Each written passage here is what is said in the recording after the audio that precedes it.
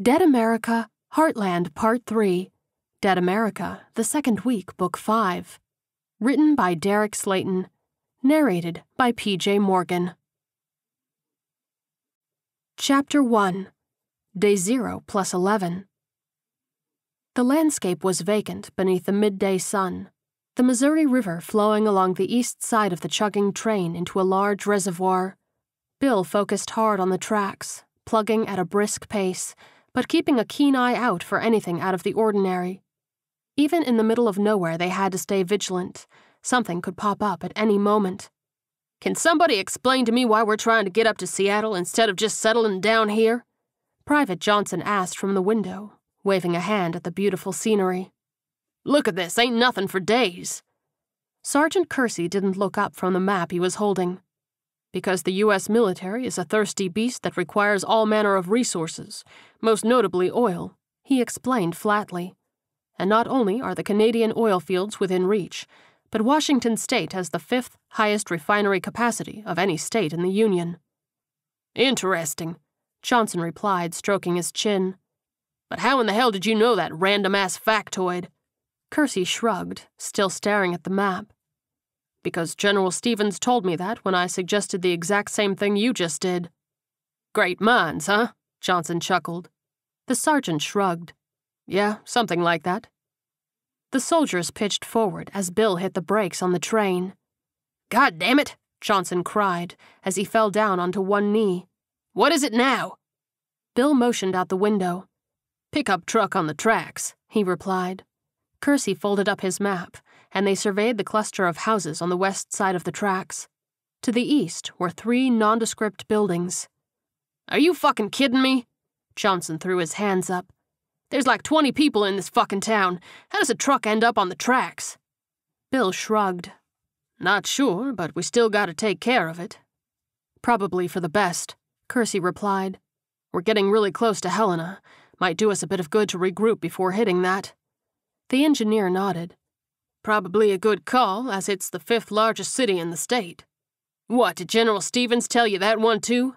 Johnson groaned as he brushed himself off. Bill smirked. Nope, I just paid attention in college. Kersey barked a laugh as the train came to a full screeching stop. The three men clambered down from the engine car, and the first box car opened, revealing the rest of their team. Private Kowalski jumped down first, rubbing his squinting eyes in the bright sun. Damn, Bill, any chance you can get a slow rolling stop next time? he moaned. I was firmly in dreamland, then the next thing I know, Baker and Mason were laying on top of me. Sorry about that, Bill replied, hooking his thumbs into his belt loops. I figured we were fine out here in the middle of nowhere, but it appears as though I was mistaken. How big's the job? Private Baker asked, as he stretched his arms above his head. Kersey motioned to the front of the train.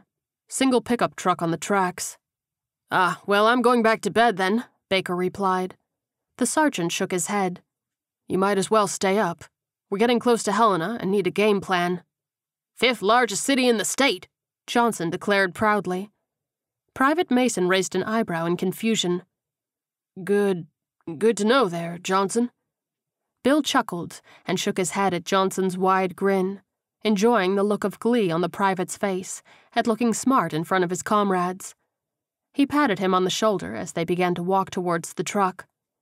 Mason, Johnson, make sure that truck is clear, Kersey instructed.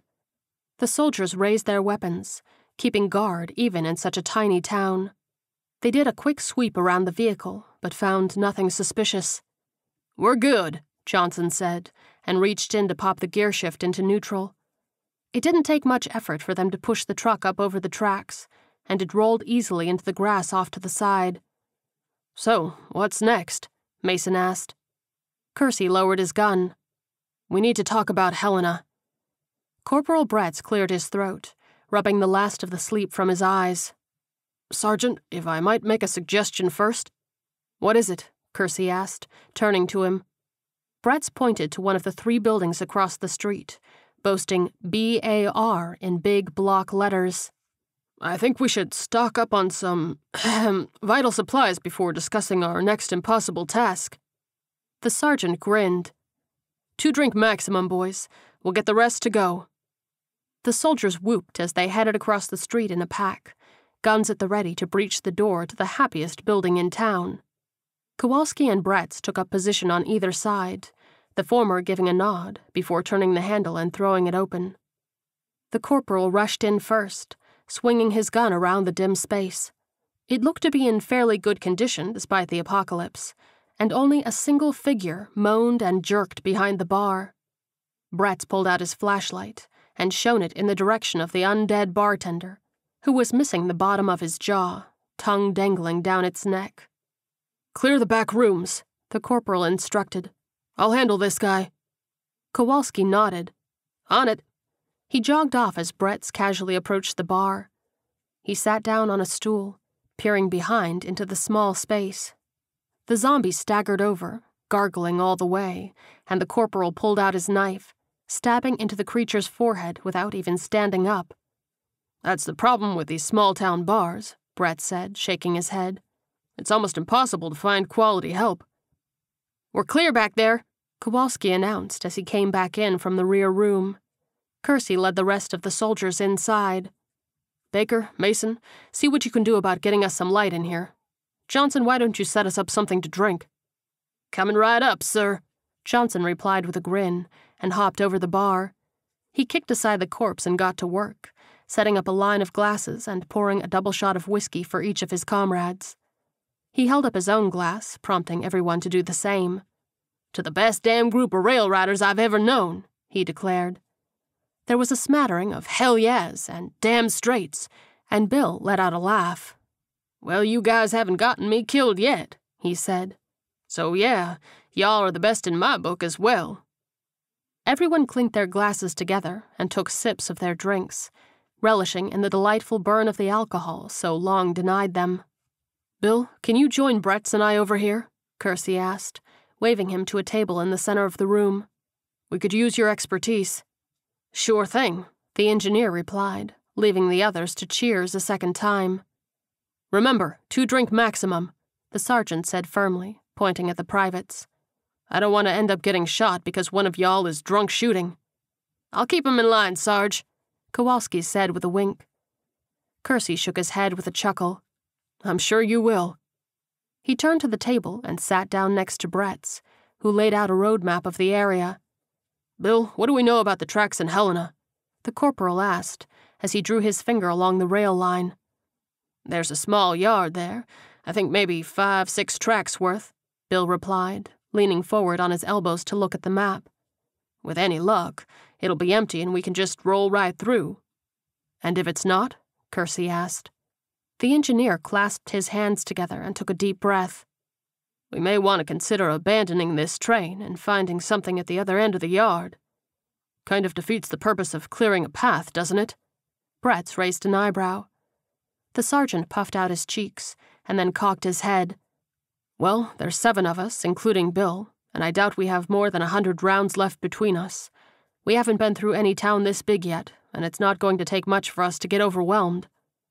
I'm not sure the general is going to be particularly happy with it, Bretz replied, and then shook his head, raising his glass. But fuck it, he isn't here. Kersey laughed. Cheers to that. Chapter 2 Bill slowed significantly about two miles from the city. He and the soldiers were on high alert, ready to stop at a moment's notice. Mason and Baker stood on the outer railing while the rest of the team were packed inside the engine car. What in the holy hell? Johnson breathed as they came around the bend towards the city. There were piles and piles of dead bodies on either side of the tracks. Bill eased the train to a stop. Didn't expect to see this, Bretz said, taking in the walls of rotted flesh. Sarge, what do you think? It's like someone is making a mass grave, Kersey replied, motioning to the excavation equipment off to one side. Johnson blinked a few times. There's got to be what, a few thousand bodies there? Easily, Bill replied, and stifled a gag as the scent permeated the cabin. Judging by the smell, I'd peg it even higher than that. Kersey clenched his jaw. Let's keep moving. We need to see what's going on in Helena. The engineer nodded and eased the throttle forward, inching them forward into the city. As the skyline came into view, the soldiers leaned forward in confusion. Sarge, are those lights? Bretz asked, eyes widening. Kersey pulled out his binoculars, stepping right against the window to peer at one of the buildings several hundred yards ahead. Even in the late afternoon sun, it was clear there were floodlights on. Unless I'm going blind, he replied. Those are indeed lights. Bill slowed to a gentle stop again, staying short of a makeshift barricade blocking the tracks. Somebody had put up a fence, and it extended on either side of the tracks in either direction. A trio of pickup trucks approached up the railroad, and Kersey stepped out of the cab to join Baker and Mason on the front, weapons at the ready. Lower your guns, the sergeant said, but keep them ready. Given that pile of bodies we just passed, whoever is in charge of this town has some firepower. Might be a good idea to get on their good side. The truck stopped on the other side of the fence in a V formation, and a short, fit white man with black hair jumped out of the front vehicle. He strolled up to the barricade, as casual as if it were a normal summer day. Well, howdy, he greeted, hooking his thumbs into the pockets of his jeans. If I had to venture a guess, I'd say y'all aren't from around these parts. Kersey chuckled. What gave us away? Not to insult your sneaking ability, but riding into town on a big old train is a dead giveaway. The man replied with a toothy grin. Plus, as much as I hate to admit it, tourism has been a bit down the last few weeks. In fact, nobody has come through here in quite some time, so anybody new is going to be raising my suspicion. The sergeant spread his palms slowly. Well, if you'll have us, I have a few boys here who could use some quality R&R. Definitely a possibility, the man said, and cocked his head. But first, why don't you tell me who y'all are and what y'all are doing here? My name is Sergeant Kersey, U.S. military, Kersey explained. I have a team of five, plus my civilian train engineer, and we are clearing a path to the northwest so the bulk of our men in the Midwest can make their way up there. The man raised his chin thoughtfully, shifting his weight to one hip. The Northwest, huh? Something big going down? That's the current rumor, the sergeant replied, with what he hoped looked like a non-committal shrug. All right, good enough for me the man replied, and gave a thumbs up to the trucks behind him. Why don't you boys lock up your train and your rifles, and I'll take you to meet Mayor Hogan? Kersey took a deep breath. You don't honestly expect us to go with you unarmed, do you? Not at all, the man said with a shake of his head. Sidearms are just fine. In these difficult times, we're trying our best to live in town the way it was before all this. And frankly, having a group of army men walking around with assault rifles isn't the best way to be achieving that. The sergeant nodded. Fair enough. We'll be right down. He stepped back into the cab, followed by the privates outside. Leave the rifles in the cab, sidearms only. That's leaving us awfully light, Bretz replied, pursing his lips. Kersey shrugged. Not like we really have the ammo for them anyway. This is true. The corporal agreed bitterly and unslung the large gun from his shoulder. All right, everybody on their best behavior, Kersey said firmly, looking each man in the eye in turn. Bill, no matter what happens, you're with me. Always. We clear? Bill nodded. Yep. Okay, the sergeant said, letting out a deep whoosh of breath. Let's go check out the mysteries of Helena. Chapter 3 Kersey and Kowalski rode in the back seat of the main man's truck, Bill nestled comfortably between them. The dark haired man, whose name had turned out to be Seth, drove across the outskirts of town and then onto the road and into the heart of it, his companion in the passenger seat, stoic all the way. The soldiers gawked at the stores along the street, fully lit up with power, the town almost looking normal. Kowalski did a double take at the sight of a man at the grocery store helping an older lady load up paper bags into her car. I have so many questions, he blurted. In due time, sir, Seth replied with a chuckle. Mayor Hogan will gladly answer all of your questions. But I'm just. How? Kowalski stammered. It doesn't look like anything has even happened here. It's like the apocalypse jumped over top of you. Seth took a deep breath. As I'm sure you noticed when you rolled in, the apocalypse most certainly did not skip us over. I'm. I'm sorry. Kowalski's face drained of all color. I'm truly sorry for saying that. I really didn't think before I spoke. It's all right, their host replied. I know you didn't mean any harm, and I can only imagine what y'all have seen out there. We only got a brief glimpse of it before the TV went dark. I can see how our town is a bit of a shock to you. Bill let out a low whistle between his teeth. That's an understatement. Look, I know that Mayor Hogan is going to explain everything to us. Kowalski leaned forward, eyes wide. But I just gotta know how in the world do you have power? Seth nodded in defeat as they turned a corner. Since I'm the one who headed up the project, I can answer that one, he said. The Canyon Ferry Dam is just up the way on the Missouri River and is a prime source of hydroelectricity. Once we got the town secure, I led a team up there, and we were able to get everything stabilized and running smoothly. We have to ration the power a bit since it's not at full capacity, but based on your reaction to it, I'm going to assume we're doing better than most other places. Kersey shook his head slowly. This town is certainly a marvel. You should be very proud. We are, sir, Seth replied firmly. We are. The trio of trucks pulled up to the old courthouse. It was two stories and built of stone, easily a heritage building in the city. Come on, Seth said as he put the vehicle in park. I'll take you to Mayor Hogan. It was quick for Kersey's team to mobilize, following Seth inside, as they were all burning with questions about this interesting town. Their dark haired host led the way across the marble floors of the courthouse. People scurried about here and there, and it was surreal to see such a flurry of normal looking activity underneath the tungsten glow of light bulbs. Oh, Seth, you're looking good today, a little old lady said as she approached the group. You and your wife need to come by so I can cook you a proper dinner. He grinned fondly at her. We would be honored, Miss Lindsay. Oh, that's so good to hear, she exclaimed, clasping her hands together. And your new friends are invited, too. Been a good while since I've had a mess of hungry boys to cook for. The soldiers smiled at her enthusiasm and waved to her with a chorus of ma'ams as she wandered past. She seems nice, Johnson said as they continued their walk. Reminds me of my Mima. Seth chuckled. She cooks a mean meatloaf, too. Sarge, just to let you know, Johnson declared. I may go AWOL if we're not here for that.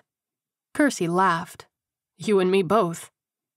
They headed up a flight of stairs to the second floor offices, and Seth opened the door to a large conference room. There was a massive oval table, and on the far end, an oak desk, where a middle aged man stood up from his chair. Come on in, he invited, and gave his thick white mustache a swipe as he approached the group. Seth, my boy, how are you? The dark haired man smiled. I'm doing well, Mayor, and you? Oh, you know, just another day in the apocalypse, Mayor Hogan replied. He surveyed the group of soldiers and clasped his hands in front of him. These must be the military boys I heard about over the radio. Kersey stepped forward. Yes, sir. Oh, don't call me sir, Hogan replied with a wave of his hand. Way too formal. Mayor is just fine. The sergeant nodded. All right, Mayor, he replied. I'm Sergeant Kersey, and these are my men. He introduced everyone in turn, and Hogan went down the line, shaking everyone's hand with a surprisingly firm grip.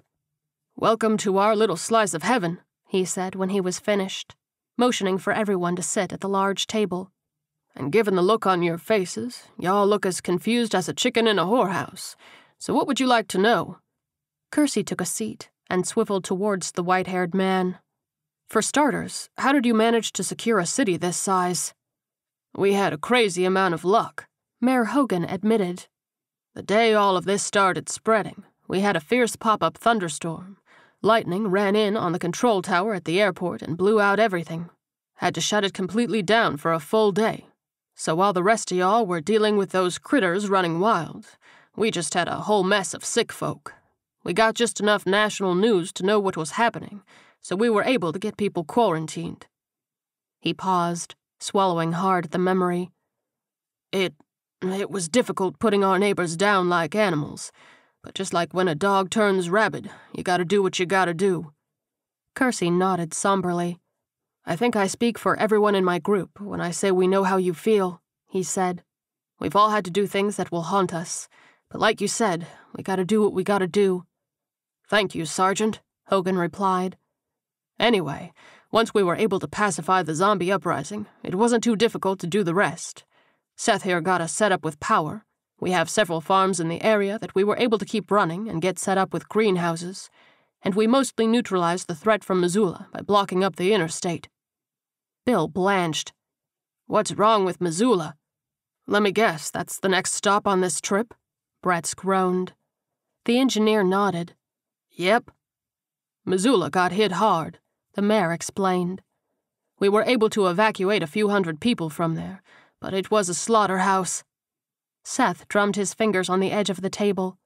And unless you are finding another mode of transportation, there's another complication. Let me guess. Bill raised a hand. Tracks are blocked? With an overturned fire truck, Seth replied. Bill scrubbed his hands down his face. Jesus fucking Christ. How in the hell do you flip a goddamn fire truck? My brother works out at the airport, Seth explained. As this was going down, he was in touch with his friend at the Missoula Tower, so he got the play by play. They had a plane crash after the pilot turned as they were in their final descent. Somebody at the fire department who was way too dedicated to his job drove out there and got attacked. He lost control, and the next thing you know, instant train block. Kersey turned to the engineer. Can we go around Missoula? Bill rubbed his temples and sighed. There's only one path through the forest, and it runs through Missoula, he said. I mean, I suppose we could swing a couple hundred miles south and cut through Idaho, but then we'd have to go through Boise, which is considerably larger, and God only knows what kind of shit show that's gonna be. I mean, it's already going to be a shit show when we hit Spokane, but hopefully by then we can get some support from the general. Kersey took a deep breath. I don't know about you, but I'd rather face a difficult situation while knowing what I'm in for rather than walking into something blind. Let's figure out a way to get that fire truck moved. I'm pretty sure there's some C4 left, Baker piped up. Let's just blow it off the tracks. Bill shook his head. That would most likely destroy the tracks in the process. What about a tow truck? Bretz asked. Johnson shook his head. Nah, man, we're gonna be hard pressed to find anything with the kind of horsepower that can move a fire truck. Would a dump truck work? Seth asked and shrugged as the soldiers all turned to him. I mean, it's not like you have to worry about the well being of the fire truck, you just need it moved, right? Johnson nodded thoughtfully. Yeah, them dump trucks got some power behind them. I think that could work. There's a landfill in the north part of town, about a mile or so from the airport, Seth explained. Should be easy enough to get to. Johnson clapped his hands together. City landfill it is. Don't say I never take you any place nice. Kersey quipped. I do have a couple of requests for you, if you wouldn't mind. Hogan cut in. The sergeant swiveled to face him. Of course, Mayor. There are still some survivors holed up in a church downtown, Hogan explained, folding his hands together on the table in front of him. We haven't been able to reach them, and they're low on food. Would it be possible for you to get them out? I think we can manage that, Kersey agreed. What else can we do for you? Despite our barricades on the interstate, we're still fearful of an exodus from Missoula, the mayor replied. Second largest city in the state, and it wouldn't take a lot of them leaving to cause us problems. I know you don't really have any control over what they do, but if you could try to lead some of them out into the forest, we would be appreciative. The sergeant nodded. We'll make as much noise as we can while leaving town, he said. Hogan raised his hands in thanks. The fact that y'all are willing to try is good enough for me. Corporal Bretz, would you please take over the planning on this raid? Kersey asked. I'm going to go radio the general and see if we can't get some reinforcements up here to help us out with Missoula. Bretz nodded. Yes, sir. Pardon me, son, but did you say reinforcements? Hogan asked. At Kersey's nod, he cocked his head. How many are we talking about? For now, Kersey shrugged as many as they can spare. But once we finish our mission, there's going to be a couple hundred thousand that will be working their way through here and up to the northwest. The mayor clucked his tongue. Seems like you boys are planning quite the party. Something like that, the sergeant replied. Hogan leaned forward. Well, you tell the general we're here to help. Probably can't handle all 200,000 of y'all at the same time, but we'll do what we can. Thank you, Kersey said, and headed out of the office into the hallway. Chapter 4 Excuse me, Kersey said to a pair of women exiting a small office. May I use that office to make a call? One of them nodded and held the door open for him, cheeks pinking slightly, as he smiled his thanks and headed inside.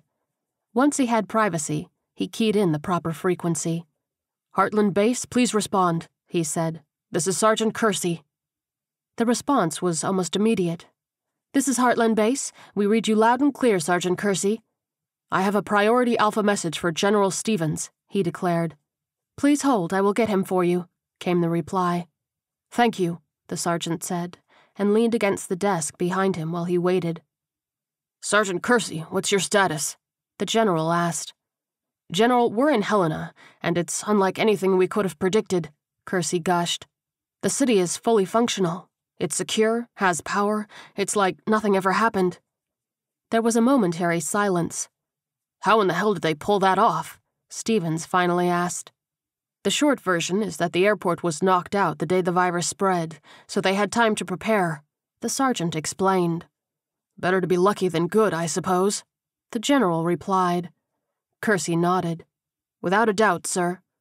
When are you and your team heading out? Stevens asked. Depends on how quickly you can get some reinforcements to me, the sergeant replied. We've run into a situation in Missoula, and it may be too much for us to handle on our own. I'm sorry, the general replied. But your orders are to push onwards. DC is breathing down my neck to get the army to the northwest for their invasion. We've had some issues with getting the caravan up and running on our end, so we're behind schedule. I'm going to have to move heaven and earth just to get you some reinforcements to raid Spokane. Kersey sighed before hitting the button again. I understand, General, and we'll figure out a way to accomplish our mission. But you are correct that we will need some help with Spokane. What kind of reinforcements can we expect? I've been able to get 1,500 men to Moorcroft as an advance team, Stevens said. Since I know you are close to Spokane, the next shipment to Moorcroft will be supplies. Should be able to spare a thousand men to send your way. The sergeant cocked his head. 25 zombies to every man. Sounds like a challenge. Well, it's better odds than you currently have in Missoula, so consider yourself thankful, the general replied. That I do, sir, Kersey replied sincerely. That I do. When you clear the way through Missoula, contact me, Stevens said. The sergeant glanced out the window. The sun is setting low here, sir, so we will be tackling this at first light.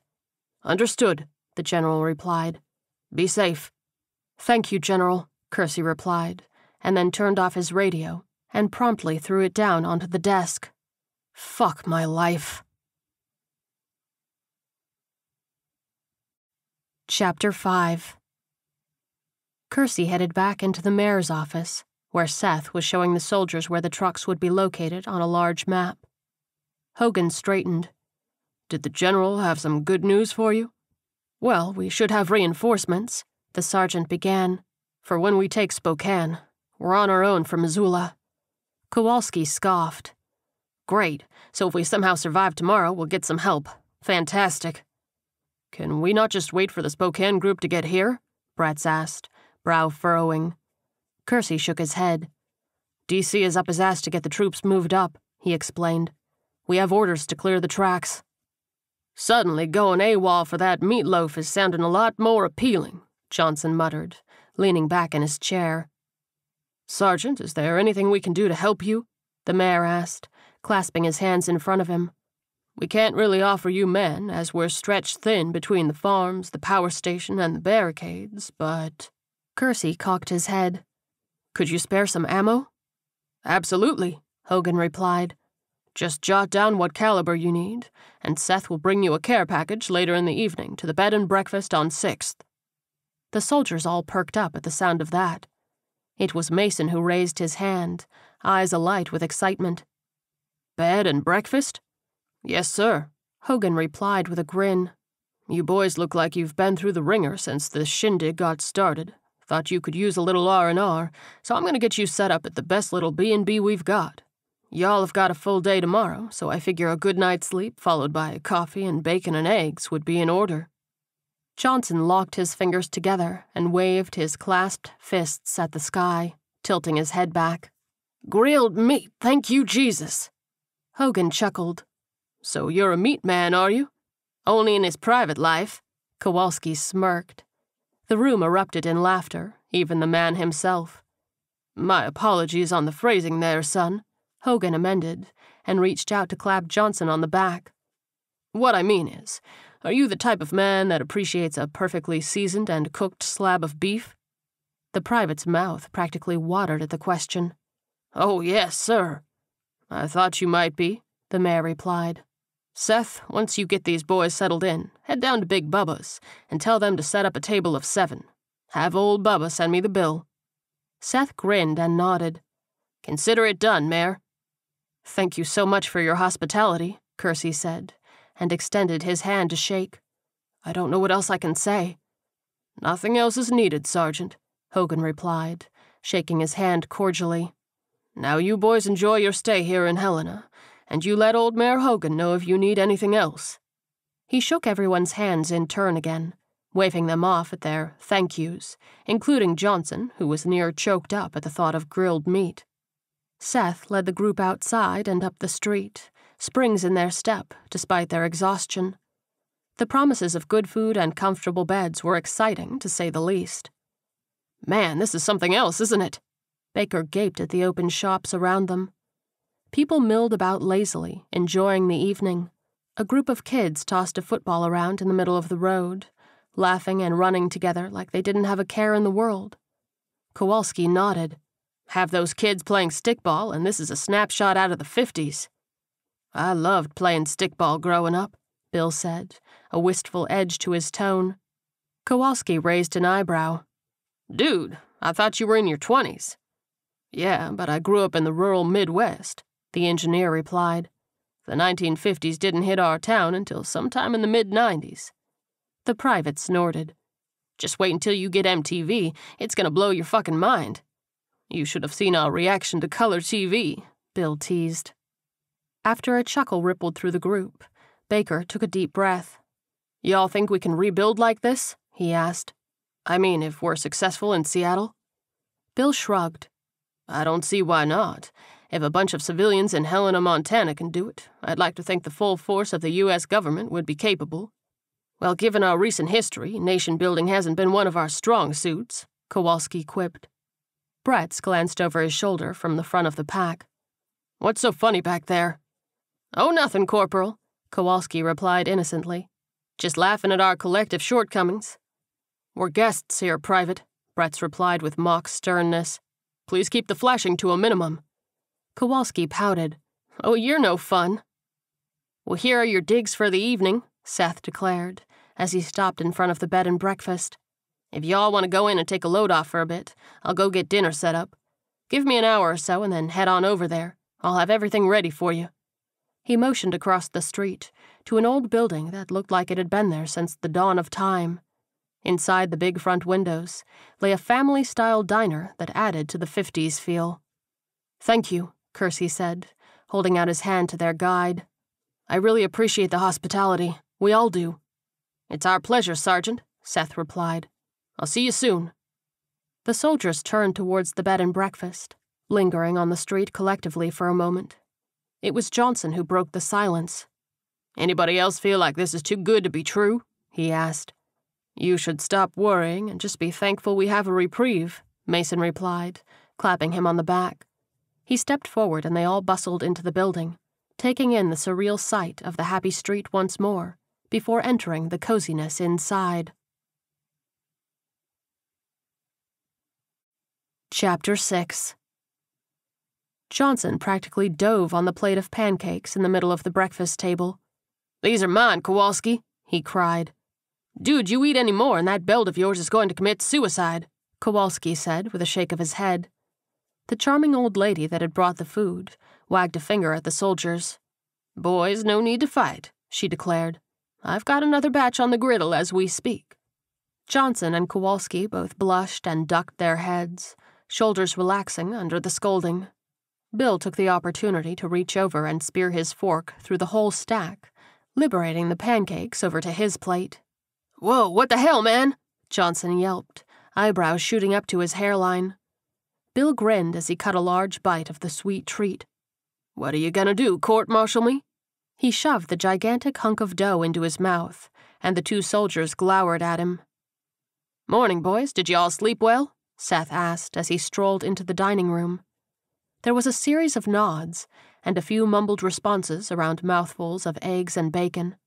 This breakfast is awesome, Johnson blurted, spitting a hunk of yellow scramble onto Bretz's cheek. Sorry, Corporal. Bretz shook his head and wiped his face, simply putting a finger to his lips to shush the boisterous private. You ready to hear the plan, Seth? Kersey piped up, setting down his cutlery and leaning back with his mug of coffee. Seth nodded and took a seat. Whenever you are, Sergeant. Kersey produced his map, spreading it out over the open part of the table nearest their guide. Okay, I've been studying this map for the last couple of hours, and this is the best plan I've come up with. If anybody has questions, concerns, or a brighter idea, I'm all ears. He glanced around the table, eyes sincere, and his team nodded. Bill, you're going to give us a ride past this neighborhood on the north side of town and drop us off. There's nothing but empty fields between there and the landfill, so it should be an easy hike to get there. Mason, you are on Bill guard duty. Johnson swallowed his mouthful and raised his hand. Why not just have Bill drop us off there?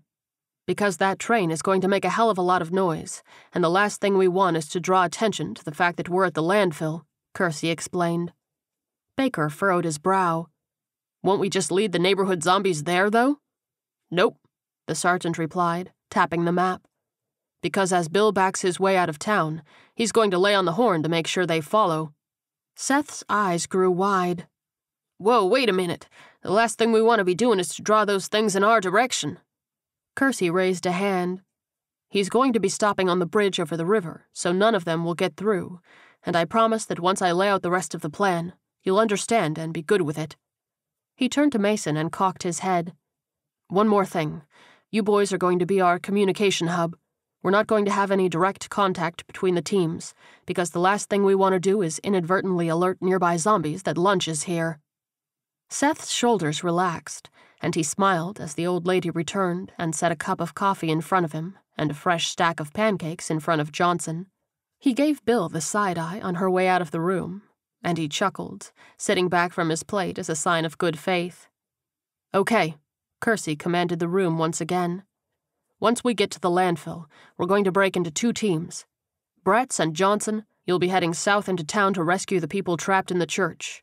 Once secure, you'll get up to the train and hand off the truck to the civilians. Again, Bill will lay on the horn to keep the zombies occupied. A few stragglers may continue their pursuit, but it won't be anything to take care of them with your barricades. He moved his finger across the map. Kowalski, Baker, and I are going to head to the airport to figure out a way to get the fire truck off the rails. With any luck, it'll be a simple push. Kowalski took a deep breath. And if it's not? Then you'd better have an itchy trigger finger, Kersey replied, because there's to be a lot of zombies to kill while we figure out how to move it. Seth raised a hand. I can actually help on that one, he put in. Ammo for your assault rifles were a bit lacking, but I was able to dig up a couple hundred rounds for each of you. For my sniper friend, however, plenty of hunters in the area were more than happy to be donating some rounds, so I got you set up with about a thousand more shots. Holy fuck, Kowalski breathed. Language! The old lady snapped as she returned with a pot of coffee to refresh everyone's mugs. Kowalski blushed again, lowering his chin. Sorry, ma'am, he said. Holy fudge sickles. She nodded as she refilled his cup. That's better. You think you can do some damage with that? Seth asked. The private grinned. Without a doubt. Once we have the route clear, Bill, you're going to come pick us up, and Baker is going to set up some C4 to attract every zombie we can, Kersey continued. Then we're off towards the forest and Spokane. Anybody got any other questions? There was a collective shaking of heads, and the sergeant nodded, draining the last of his cup. All right, well, hurry up and finish your breakfast. We've got a long day ahead of us. Chapter 7 Bill brought the train to a stop on the outskirts of East Missoula, about a half mile away from a large neighborhood that stretched to the north. Kersey peered through his binoculars and took a deep breath at the sight of dozens of shambling figures on yards and streets. Bretz, get the team ready to go in the boxcar, he instructed. From the looks of things, we're going to have to burst out and hit the ground running. I'll stay up here and pick our stopping point. Yes, sir, the corporal replied and jumped down from the cab, heading to the back. Mason, once we're clear of the train, I want you to shoot at anything on our side of the tracks that is even thinking of looking in our direction, Kersey continued. And Bill, as soon as we're clear, I want you heading back. The engineer nodded. Not a problem, Sergeant. Okay, take us to the landing spot, Kersey said. Bill inched the train forward, picking up a little bit of speed. The noise of the wheels on track drew out zombies from what seemed like every possible nook and cranny. They emerged from alleyways, bushes, behind houses. Of course, they weren't smart enough to stay away from the train, and bounced off of the moving vehicle like a rubber ball off of asphalt.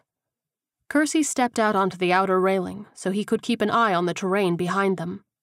Hundreds of zombies flooded the tracks, and easily thrice that congregated in the neighborhood, heading their way. How much time do you need to stop this thing? The sergeant called inside the door. Speed I'm going, Bill replied. Maybe 45 seconds. Start slowing down then, Kersey instructed. We wait any longer and we might get overrun. Bill hit the brakes, the train screeching its deceleration. The sergeant lifted his radio to his lips. Forty seconds, Bretz, he declared. And you boys get ready to hustle, because goddamn if we don't have a horde on our asses. Copy that, Bretz came back. Kersey bit his lip as he stared at the horde behind them. There was about a hundred yards between the train and its pursuers, but it shortened as the vehicle slowed. He shook his head and raised the radio again. Fuck it, we gotta go now, he demanded. Get out and start running. Mason, you start popping them. And Bill, lay on that horn as soon as we're clear. He slid down the ladder and dropped onto the ground, stumbling from the moving vehicle. Gotcha, Sarge, Johnson grunted, grabbing his bicep and hauling him back to his feet. Kersey's eyes widened at the sight of the veritable sea of zombies pursuing them from the horizon, and quickly folded into the soldiers' formation as they fled across the dusty terrain. Bretz led the group, moving quicker than the slowing train. Mason hung out the door of the engine cab, the constant pop, pop, pop of his gun echoing before Bill set off the whistle. The wail was near deafening as he began to move it in reverse, drawing the attention of the horde. The soldiers ran as hard as they could for a few hundred yards before finally slowing, gasping for breath and leaning on their knees. Way too early in the morning for that much cardio, Kowalski huffed. Holy hell! Bretz laughed, taking in their empty surroundings. Not getting soft on me, are you? The private rolled his eyes. Well, I do have five times the ammo y'all do, he said. That shit adds up. Suck it up, the corporal replied, clapping him on the back. We still have a couple miles to the landfill. Kowalski grunted and stretched his arms above his head. A hike and a mound of garbage, he declared brightly. Life is indeed good. The soldiers headed at a significantly slower pace across the field, not a single building in sight from the neighborhood. The air was eerily silent after the deafening moans of the horde, but the train had been a sufficient distraction for the group. As they approached the landfill, Kersey motioned for everyone to take a knee beside the lone building at the entrance. There was a single metal bar, not even automated, but one that would have been lifted by whoever was manning it. Baker, Johnson, check out the inside, the sergeant instructed. See if there are any keys. They rushed the door, quickly slipping in to sweep the small front room.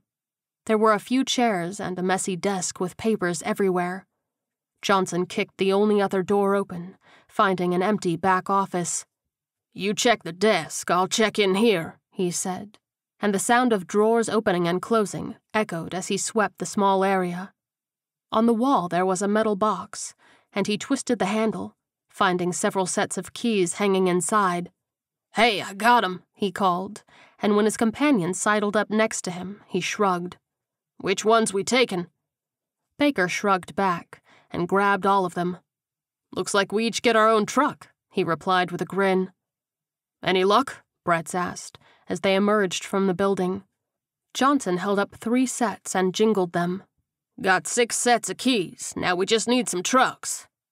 I think I got some, Kowalski said from the roof, peering through his scope. What about resistance? Kersey asked. Couple of shamblers, but nothing we can't handle, the sniper replied. Apparently, this wasn't a popular destination to ride out the apocalypse. Johnson snorted. Hard to imagine why. He waved his hand back and forth in front of his nose. With that stench, yum. All right, let's move, Kersey said, and Kowalski jumped back down to the ground. The group moved out at a deliberate pace, guns at the ready regardless of the quiet. Any idea how to tell what keys go to what truck? Baker asked, as he patted his pocket to make sure his three were secure. Johnson shrugged. Well, they got numbers on the keychain, so one can only hope. They rounded a corner of garbage to find six old style dump trucks, each with an open top and an empty sticky back bucket.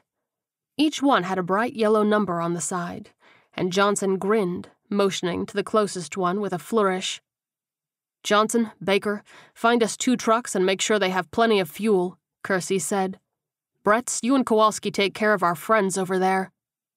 The sniper and his companion headed over to the duo of zombies staggering around the farthest truck. Though blood soaked, they wore matching coveralls with the city crest on the shoulder. The soldiers pulled their knives to silently dispatch the creatures, and then turned as two of the trucks roared to life. Oh, yeah, got a full tank of gas right here, Johnson bellowed. Baker gave a thumbs up from the driver's seat of his. We're looking pretty good here, too, Sarge. Okay, we know the mission, so let's get it done. Kersey raised his hand to round up his men, and the four left, split between the two trucks into teams of three. Chapter 8 Bill kept a slow pace, enough so that the zombies could keep up, and pulled the whistle again.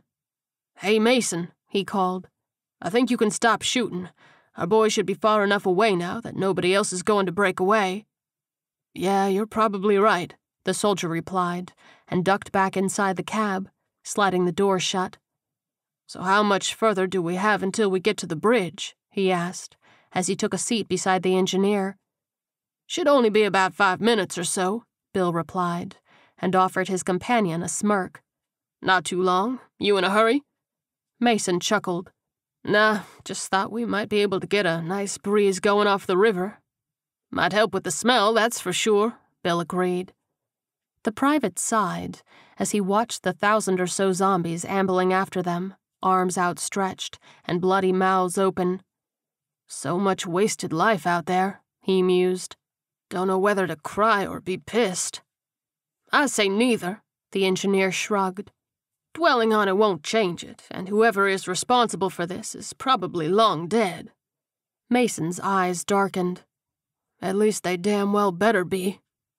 All you can do is keep moving forward, which is ironic given our current direction, Bill replied brightly. The private barked a laugh and shook his head. You're all right, Bill, he said, clapping his companion on the shoulder. Hey, you've only known me for a week, the engineer replied. Might want to reserve judgment on that one. He winked. The train rattled a little bit, signifying that they'd reached the bridge. As the cab backed into the bottleneck and zombies jostled and fought for position to follow, several of them toppled over the edge or were trampled, flailing bodies everywhere. Man, they really want us, don't they? Mason asked. Bill nodded. Yeah, I wouldn't worry, though. There's no way they're getting up here, he said. Even if they could climb, it's a hard time squeezing in between the train and the bridge railing. The vehicle screeched to a stop. So what now? Mason wondered. Bill grinned and reached up, pulling the whistle again, another wail echoing through the area. We keep drawing them in and hope our boys can get the job done. The soldier nodded and leaned back in his seat, putting his feet up. The duo relaxed and watched even more corpses stagger over the horizon, dumbly excited to try to eat a locomotive. Chapter 9 That does not look good, Baker said, as they headed down the last stretch of road towards the airport. Zombies staggered out from the side streets, ambling up onto the road towards the noise. No, it does not, Kowalski agreed, leaning forward to peer out the windshield of the large truck. Hopefully, the airport isn't anywhere near as crowded. Even if it isn't, Baker replied, how much time are we going to have to get this thing moved? Kersey raised his binoculars. Drive to the end of the next street and stop, he instructed. What? Baker blurted. Those things are going to be on us in a matter of minutes if we do that. The sergeant motioned ahead. There's a dozen of them around the fire truck. Shit, the private muttered. Exactly, Kersey replied. Kowalski, I need you to pick some off from here so we can silently kill them when we move up. We start shooting at the fire truck, we're going to attract anything that might be at the airport. At least here, it might be out of earshot. Kowalski nodded. Let me slide by you, Sarge, he said, and ducked under his companion to switch seats. Just after Baker slammed on the brakes, he threw open the door and clambered up on top of the cab. He lowered himself to one knee and raised his rifle, steadying his breath to line up his first shot. The bullet ripped through his target's soft head, dropping the rest of the corpse to the ground. The crack of the gun echoed loudly, and the rest of the zombies hanging around the fire truck turned and headed slowly towards the dump. Kowalski kept himself steady and fired again and again, taking out each creature one by one. As he paused to reload, Baker unrolled the driver's side window. Kowalski, we gotta get rolling, man, he urged, motioning behind them. Kowalski glanced quickly, noting the large horde heading up behind them, looking to be in the hundreds strong. Twenty more seconds, he said, and fired more rapidly, barely taking the time to aim.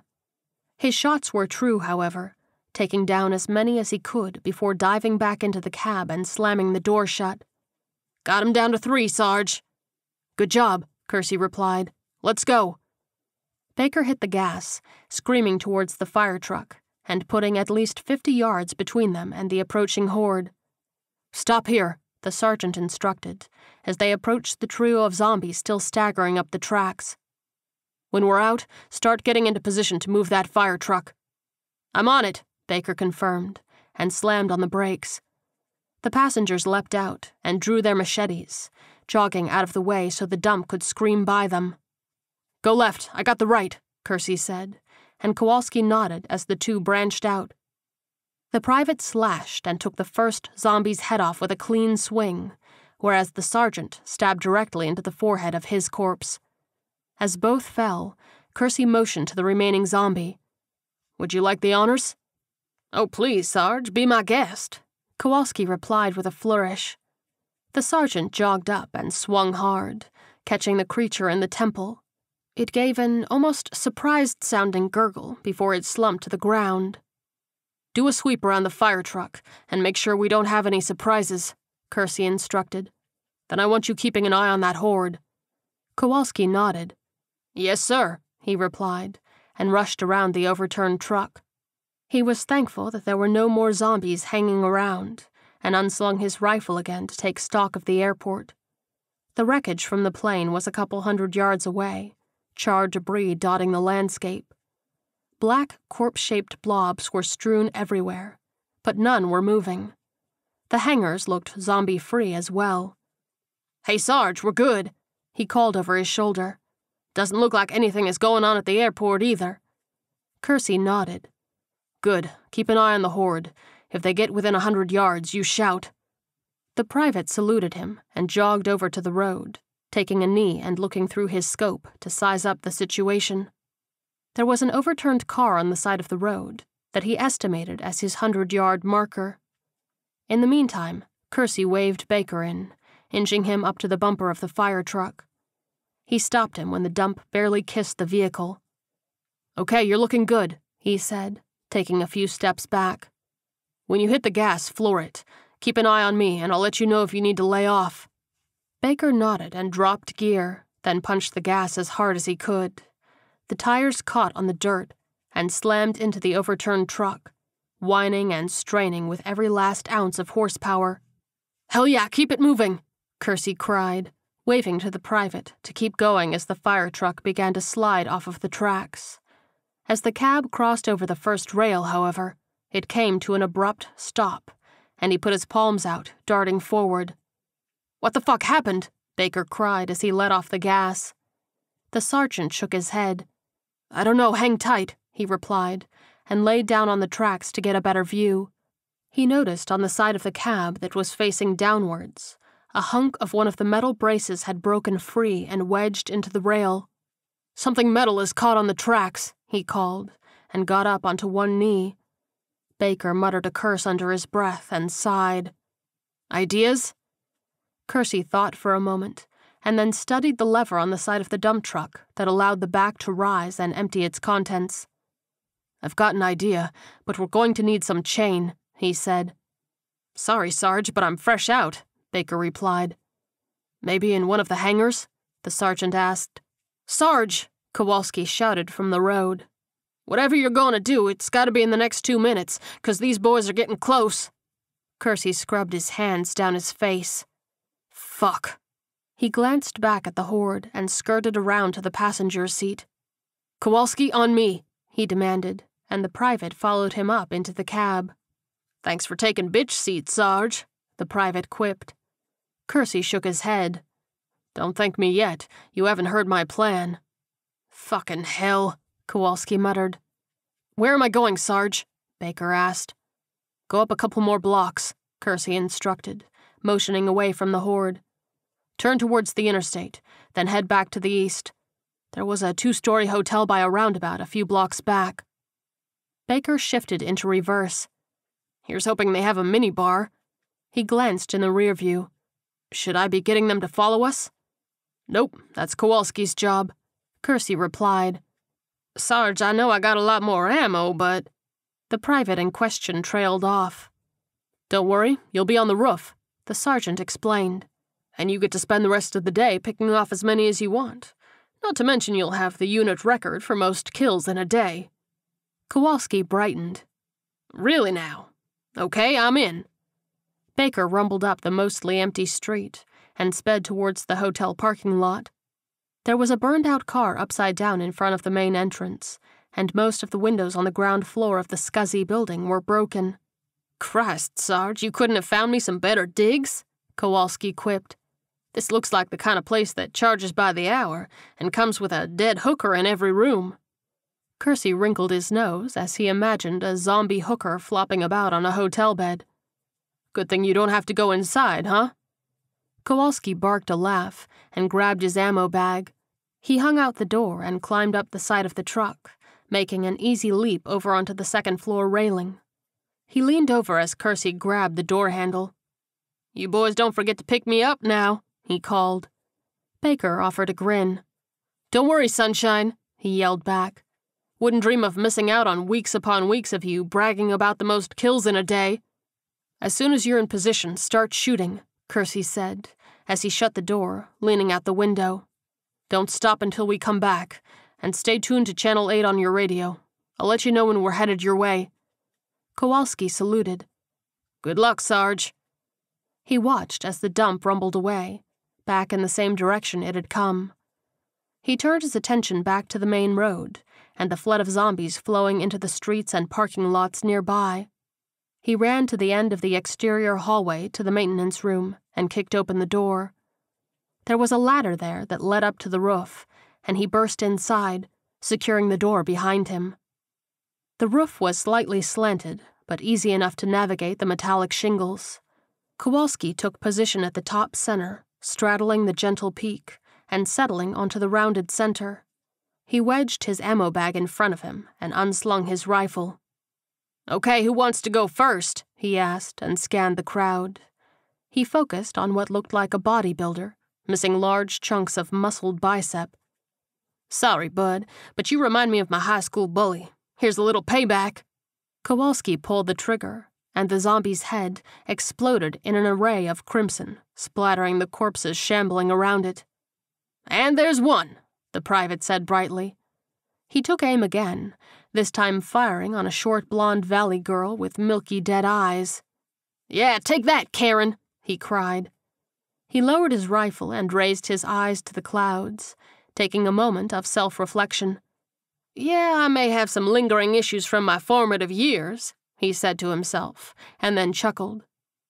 Kowalski raised the rifle and fired again and again, the cracks drawing even more moans to the hotel. All right, Sarge, he said with a grin. I got 'em occupied. Do your thing.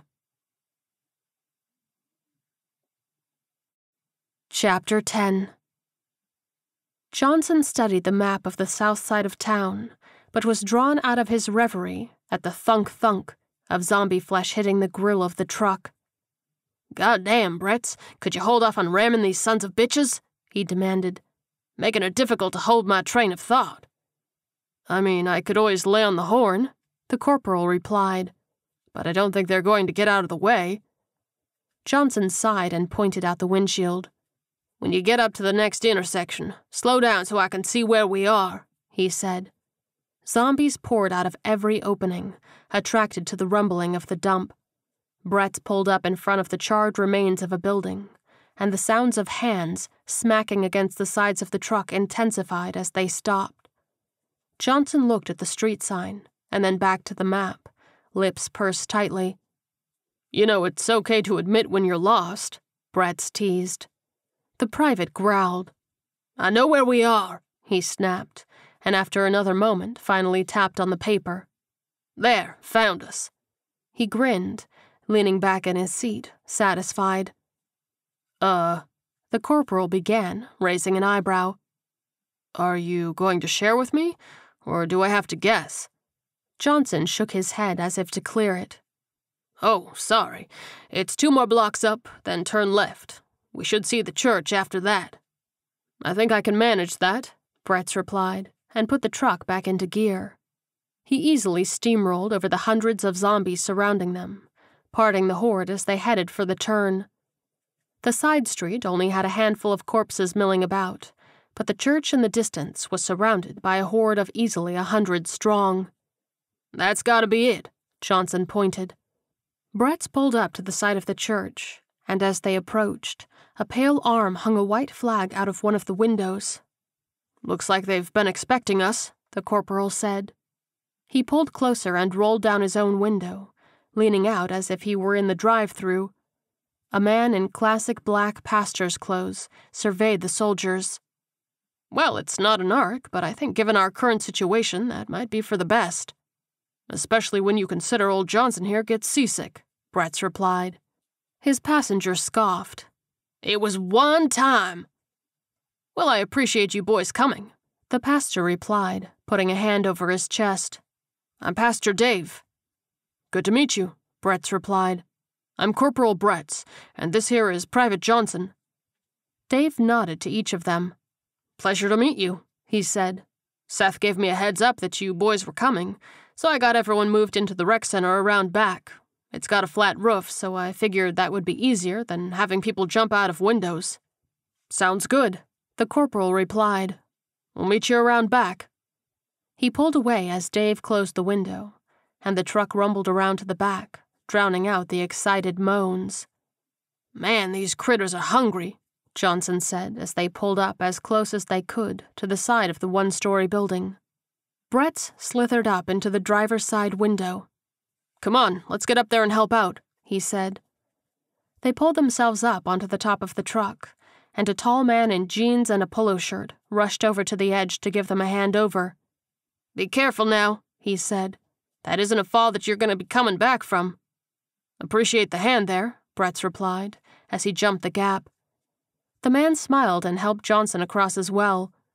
I'm George, the youth pastor here. Thank you, the corporal said, and introduced himself. Johnson did so as well, shaking the youth pastor's hand. So what's the deal here? Where's everybody at?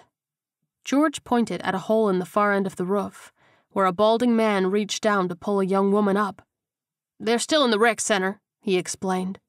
We have some elderly people in the group, so we thought it best to wait for you to get here before bringing them outside. Bretz scratched the back of his head.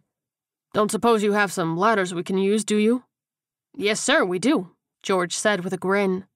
We'll bring one up right now so we can start getting people loaded in. The corporal nodded. How many people are we looking at? Thirty-seven, including myself, sir, the tall man replied. Okay, give me half a dozen able bodied men to get down into the truck first, Bretz instructed. We're going to have a couple on the edge and the rest in the bed to help the less abled. Sounds good, George agreed. You wait here, and I'll get them rounded up and over to you. Johnson sighed as he stared down at the sea of hungry corpses below. Loading elderly people into a trash truck as an army of dead things bang on the side of it. Bretz couldn't help but chuckle. Yeah, they left this one out of the recruitment brochure, didn't they? Several minutes later, they had four burly young men inside the back of the truck, with two more standing at the top of the ladder. Okay, let's start loading in some of the elderly, Bretz said, he and Johnson stationed at the edge of the roof. George approached with a woman who looked to be in her mid seventies. Come on, Miss Mary, let's get you down there, he said gently. The soldiers helped her over to the men on top, and the ones in the bucket braced her as she climbed down. Christ, we're gonna be here for days, Johnson muttered under his breath. Bretz shrugged. At least we're up here, nice and safe, he said. We could be dealing with that fire truck. Or we could be like Mason with our feet propped up on the train, listening to Bill tell stories. The private shot back. I mean, how does he keep getting that gig anyway? You should take it as a compliment. Bretz grinned. Just shows you that Sarge has a ton of faith in you. Johnson barked a laugh. Well, remind me to fuck something up next time I'm around him. All of a sudden, there was a metallic screech. What in the fuck? Johnson breathed, and the soldiers turned to see the back of the dump truck opening up, the front end rising. The people already inside scrambled to hold on to whatever they could, screaming. Oh my god, what's happening? George cried. Johnson let out a growl of frustration as he spotted the zombies hanging off of the release lever for the bucket. He pulled his rifle from his back and released the mag, making sure the chamber was empty. What are you doing? Bretz snapped. One of them fuckers hit the lever, and we gotta hit it back, Johnson replied. You two are gonna lower me down as low as you can so I can hit it with my rifle. The corporal glanced at the fearful faces in the bucket as it raised even higher on its ascent. Fuck, let's do it, Bretz said and motioned to George. Get his leg. Johnson laid down on his stomach, and they each took a leg, lowering him down over the side of the roof. Bretz, if you drop me, I swear to Christ I'm gonna haunt your ass. I might not if you weren't such a fat ass, Bretz grunted. In the back, the men were able to grip the sides of the truck, but one struggled to hold himself and keep hold of the elderly lady in his grasp. It's okay, Miss Mary whispered. He shook his head, his hand loosening on the side of the bucket. I'm so sorry. She wriggled out of his grip and slid down the bed towards the throng of hungry creatures. He watched in vain, able to solidify his grip now that he had the use of two hands. One of the young men closest to the bottom caught her to stop her descent, but her momentum caused him to lose his grip, and they both went tumbling into the horde. Miss Mary went head first into the asphalt, the zombies descending upon her immediately to snuff out her screams. The young man cried out in disappointment and fear as he kicked off of the shoulders of a corpse to try to scramble back into the rising bucket. He almost managed to get a fresh grip on the metal, but shrieked in pain as teeth tore into his calf. His screams and pleas for help spurred Johnson on, the soldier desperately stabbing at the lever with his rifle. A zombie grasped hold of the butt of it, and they began a vertical tug of war. Let go, motherfucker! Johnson yelled and pulled out his handgun with his free hand, firing into the zombie's face. The creature's grip went slack, and Johnson stabbed once more, finally catching the lever. The gears shifted pace, and the door began to close, the bucket returning back to its prone position. A few men joined George and Bretz in hauling the soldier back up onto the roof, and he flopped over onto his back in a sweaty heap. Holy shit, that sucked, he huffed. Bretz clapped him on the shoulder. Could be worse. You could have been on my end. You're going on a fucking diet. That's an order. Johnson gave him a playful salute while he caught his breath. Screams arose inside of the truck, and the corporal joined George at the edge of the roof to watch in helpless horror as the door came down on the young man, whose legs were being feasted on below. The life drained from his eyes as the door severed his thighs, and Bretz took aim. Everybody stay back and cover your ears, he said, and the other civilians in the truck complied, turning their faces away as well. He fired once, putting a bullet into the back of the young man's head. Why did you do that? George cried, grabbing his arm. Bretz shook him off. If I didn't, then he would have become one of them, and we've lost enough lives today. Johnson got to his feet. We're gonna have to keep a watch, make sure they don't hit the lever again.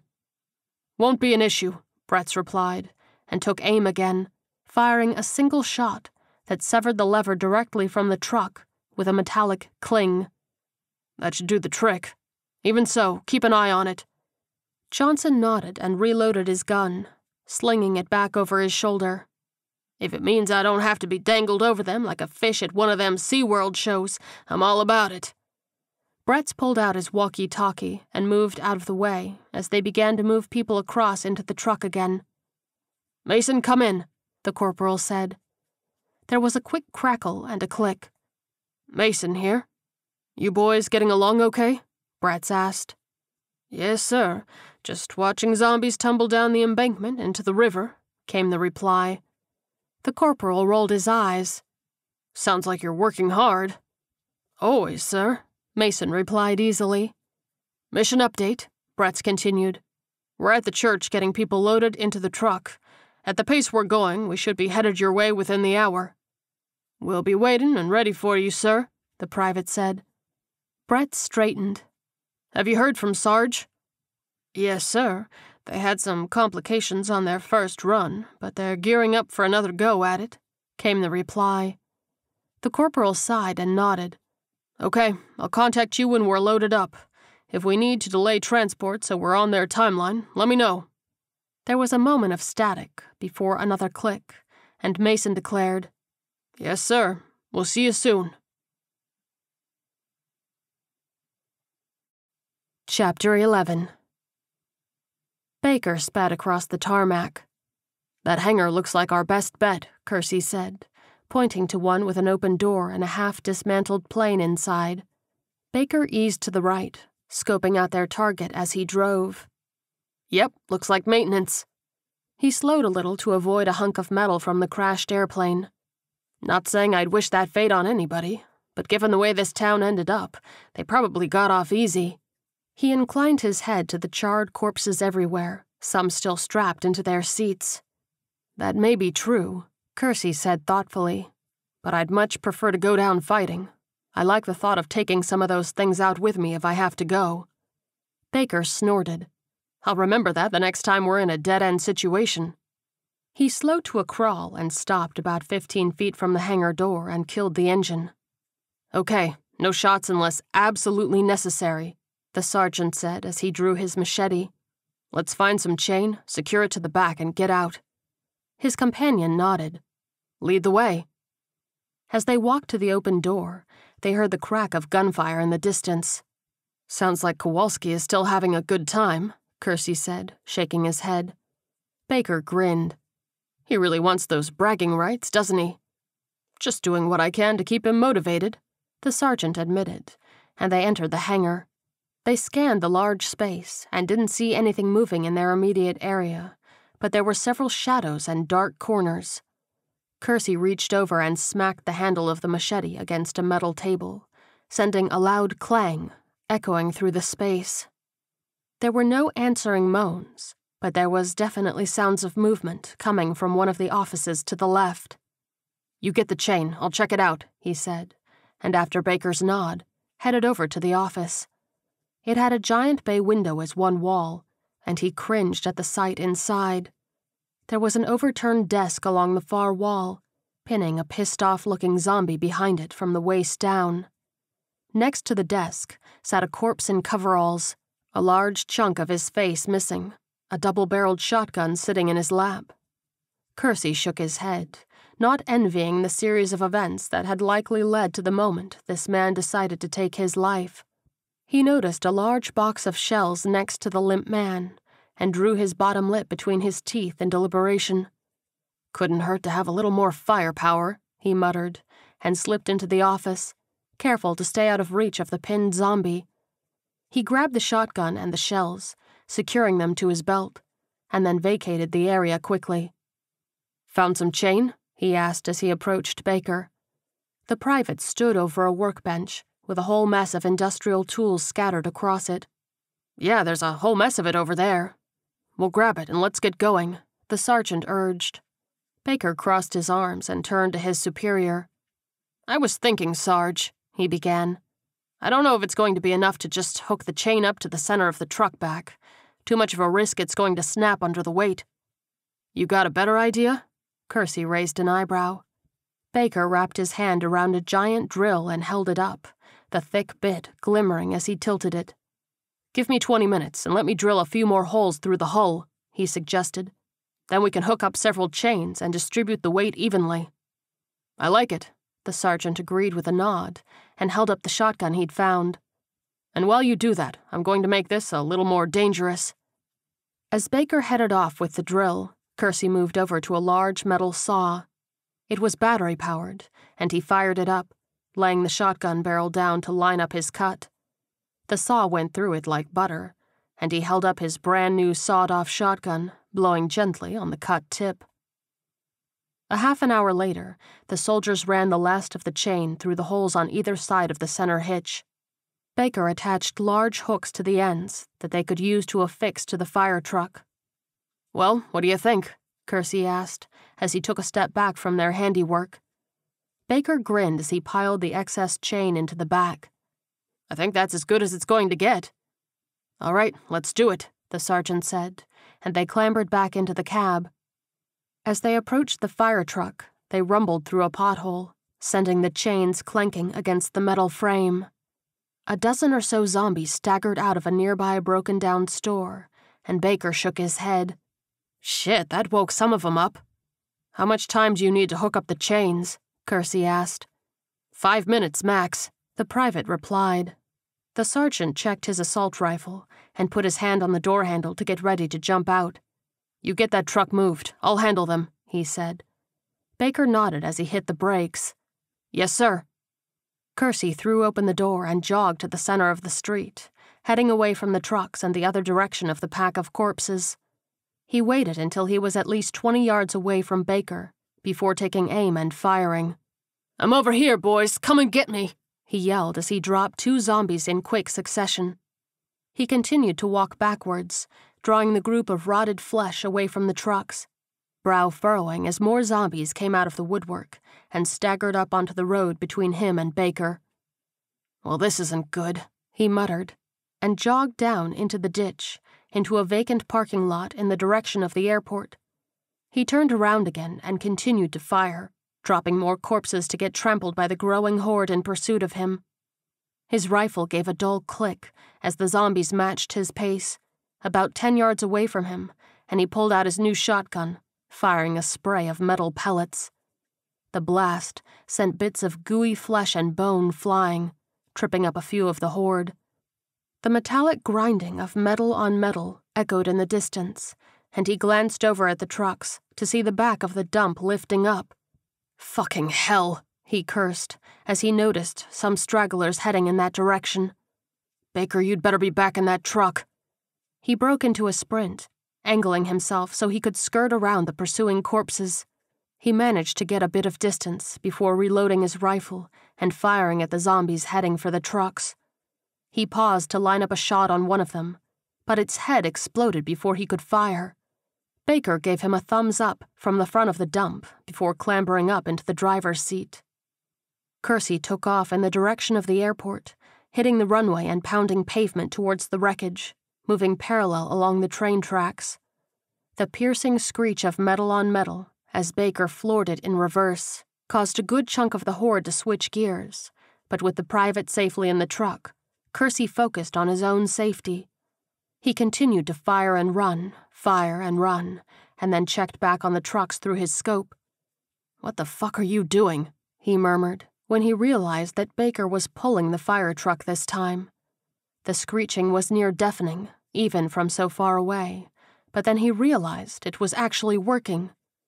Except the noise had drawn the entire horde. Chapter 12 Oh, no, you don't! Kersey roared and fired with the shotgun some more, but the metallic squeals drowned him out.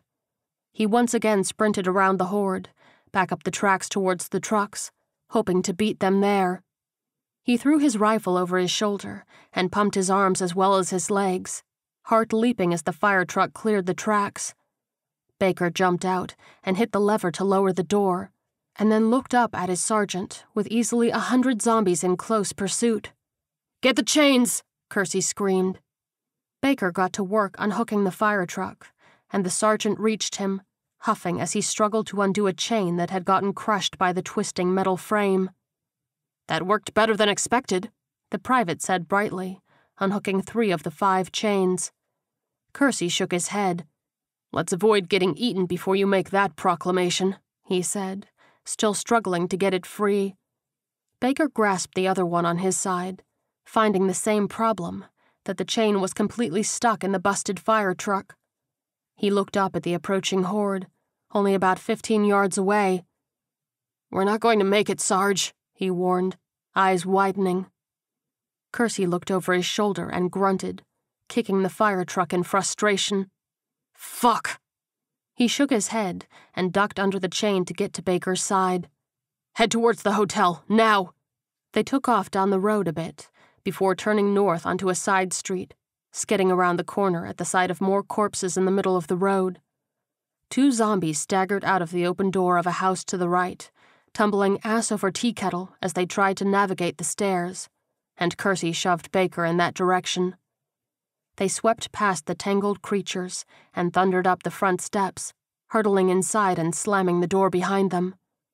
The soldiers dropped to the floor and pressed their backs up against the wall, staying out of sight and silent as possible.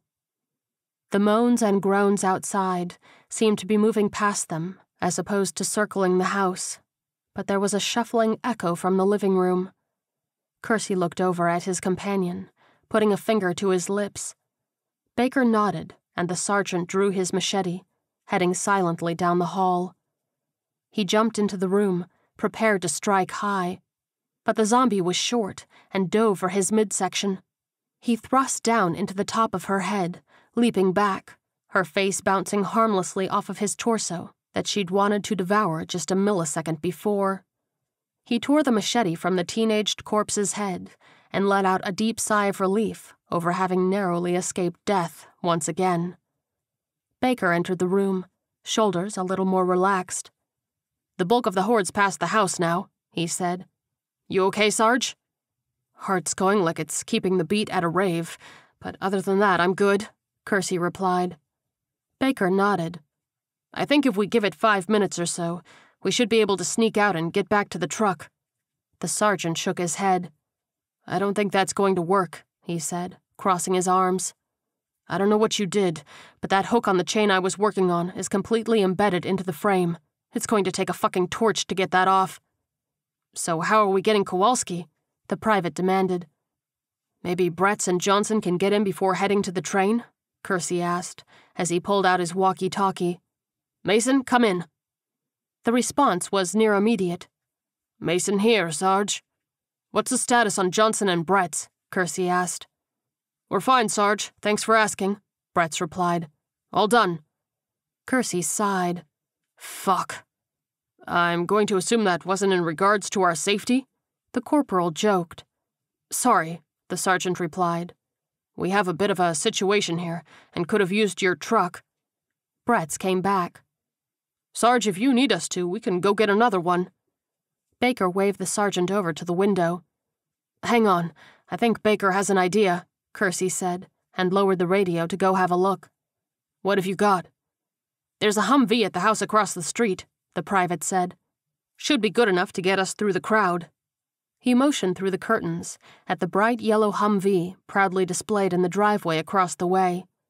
You think you can hotwire it? Kersey asked. Baker grinned. Might kill the resale value, but yeah, I can do it. Bretz, the sergeant said into the radio. Getting another truck isn't going to be necessary. The corporal let out a sigh of relief. Good to hear that, because we really don't want to run from these fuckers any more than we already have today. You and me both, brother, Kersey replied.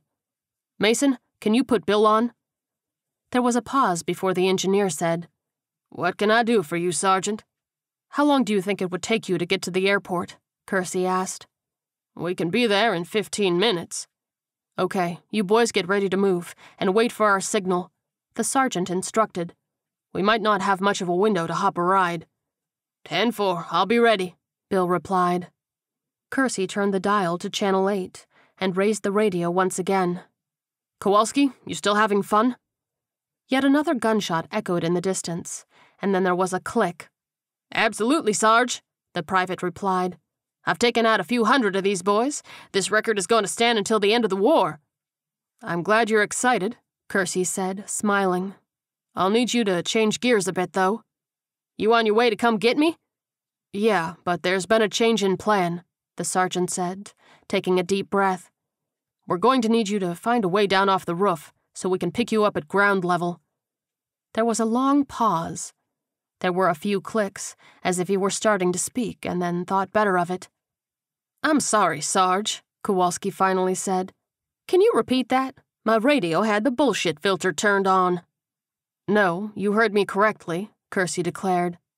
Are you fucking kidding me? The private cried. I've spent the last hour attracting every zombie in the city to me, and currently have half the goddamn population of this shitburg surrounding me. And you want me to get down to the ground? What the fuck happened to the dump truck? Kersey gave him a moment to calm down, and then replied, It's permanently fused to the fire truck. Just, Kowalski stammered, anger clear in his tone. Fine, god damn it, give me a minute. I don't think he's happy, Baker quipped. Kersey shook his head. Yeah, whenever we stop next, we'll have to raid a trophy shop and make him an award for his daily kill record. I'll add it to the shopping list, the private laughed. Sarge, I just checked the way I came up, and the room is filled with zombies. Kowalski came back. Even if I could get by them, the entire upper floor is clogged with those things. So unless you want me to go full frat boy and jump into the pool, I don't know how I'm pulling this off. The soldiers shared a sly glance. Kersey raised the radio to his mouth. A pool, you say? Where's it located? Sarge, we need to work on your sarcasm detection, Kowalski snapped. Well, if you didn't want to do it, then you shouldn't have suggested it. The sergeant shot back. Didn't you learn anything from the Istanbul mission? Now, where's the pool? God damn it, Kowalski growled in defeat. It's in the back of the hotel. Kersey cocked his head. Are there many zombies around it? A couple dozen, but it's gated, so I'll have a safe landing zone. Okay, you get ready to move, the sergeant instructed. Baker and I have to jack a ride, and then we'll be over. Kowalski sighed audibly. Fine. I'm shooting a couple more zombies just on principle before you get here. Chapter 13 How are we looking? Kersey asked, as he joined Baker at the front door. The private peered through the curtain. Still about half a dozen, but nothing we can't handle. How long to hotwire it? The sergeant asked. Baker shrugged. Two, three minutes max? Okay, Kersey said with a nod.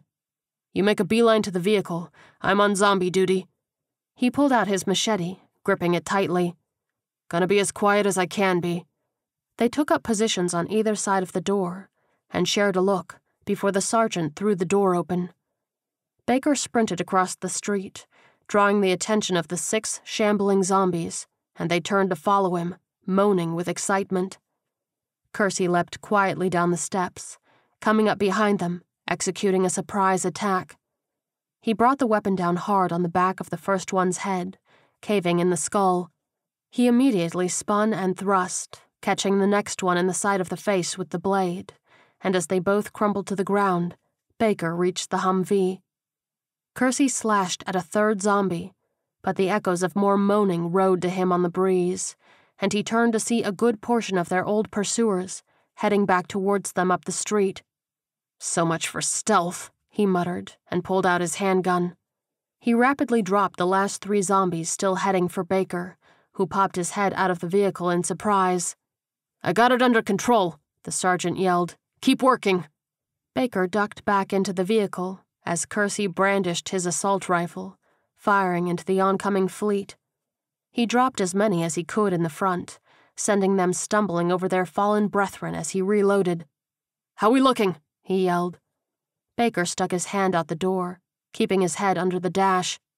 Thirty seconds, he shouted back. Kersey ran up next to the passenger door, firing again to try to trip up more of the staggering dead.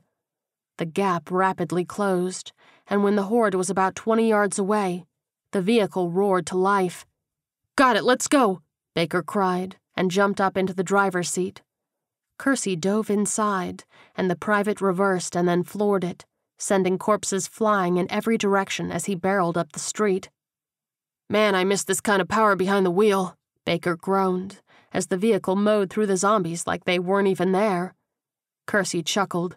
Thank God for overcompensating civilians, he replied, and raised the radio to his lips.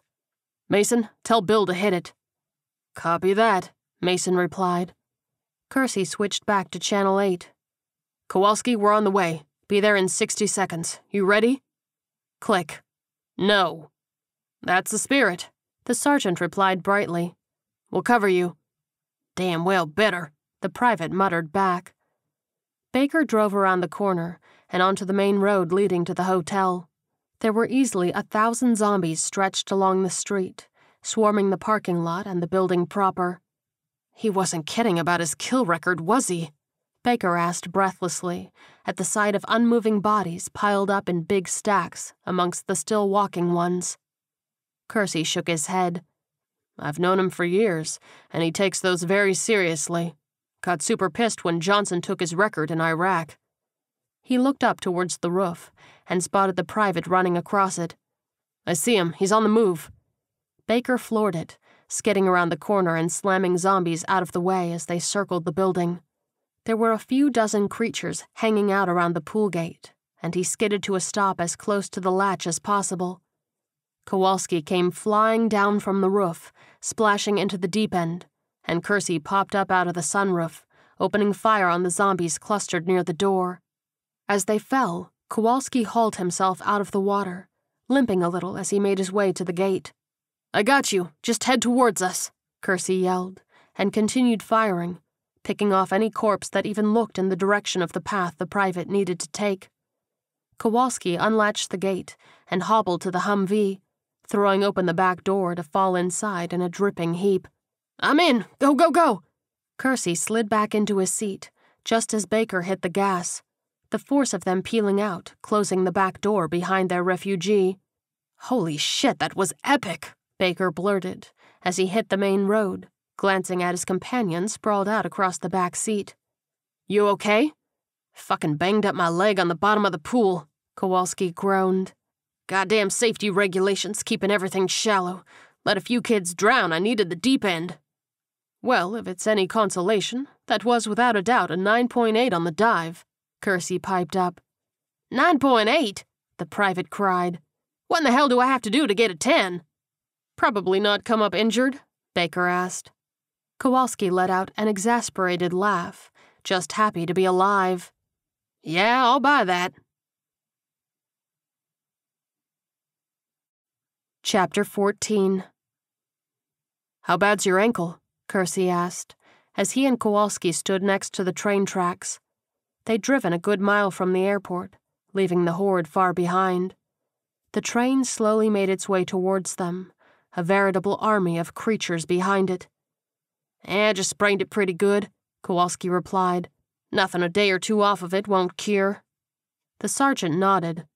Lucky for you, we have some downtime in our future. No way in hell we're tackling Spokane without some major backup. Did the general tell you how many troops he's sending us? Kowalski asked. Kersey scratched the back of his head. Yeah, he did, but you've had a rough enough day already. I don't want to depress you with specifics. Oh, great, so nowhere near enough to get the job done safely, the private moaned.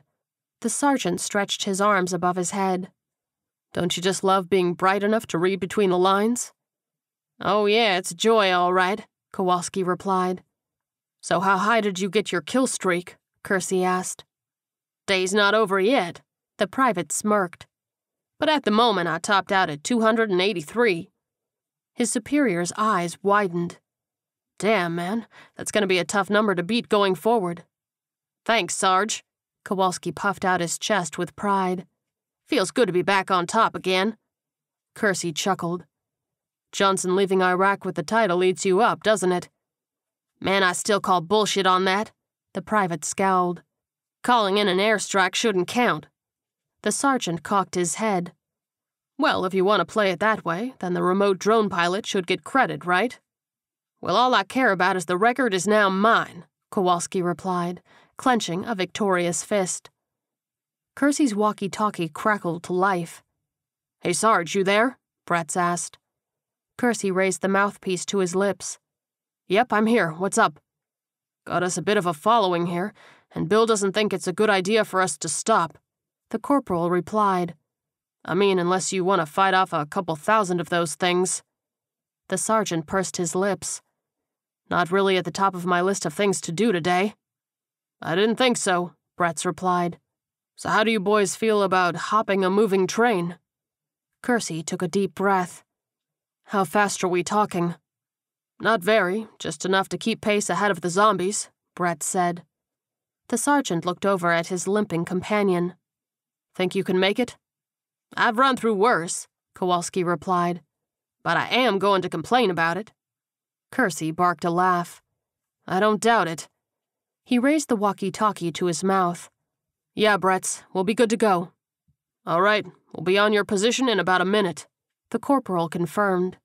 Kersey turned to the Humvee. Baker, time to go. The private emerged from the vehicle, arming the switch on the C4 he'd rigged up inside. He jogged over to the duo, holding the detonator above his head. You ready to blow up that behemoth? Kowalski asked. Baker grinned. There's enough C4 in there to get it into orbit. Think it's going to actually attract those things? The sniper wondered. Well, since we have quite the following already, I was going to wait until we're up the line a bit before triggering it, Baker explained.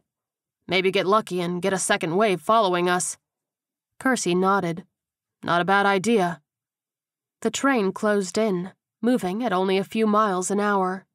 A sea of zombies lumbered behind, with only a few feet of space between. All right, here's our ride, the sergeant said. Kowalski, you're up first.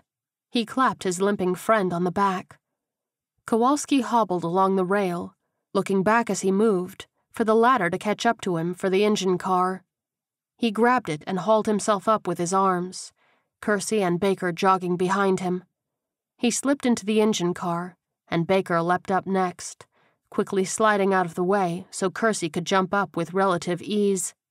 All aboard and ready to get rolling, the sergeant declared as he entered the cramped engine cab. Well, get comfy, the engineer bellowed from the console. We have a long ride ahead of us. I'm gonna keep it about this speed for an hour or so to make sure we're deep in the woods with these guys behind us. Baker set his watch for 20 minutes. Okay, my timer is set to detonate the Humvee, which will hopefully give us a second group. Did anybody think to bring beer? Johnson raised his hand. I wish. Kowalski cut in as he lowered himself to a sitting position on the floor. It would be nice to have my daily kill record celebrated properly. What are you talking about? Johnson's eyes narrowed. You know I have the squad record. Kowalski grinned up at his comrade. Not anymore. Got 283 today. Johnson paled and scrubbed his hands down his face. I'm never going to hear the end of this, am I? The sniper crossed his arms. Did you let me hear the end of it after your little airstrike? Well, no, his companion stammered. But that was totally different. How? Well, I mean, it was my record, Johnson said, looking ever the petulant child. So it was different.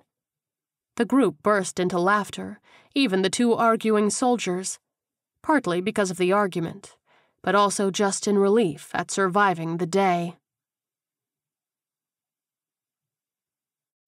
Chapter 15 Kowalski muttered a few choice obscenities under his breath and ducked back inside the engine car. Sarge, we've got a problem. Let me guess, they aren't breaking away?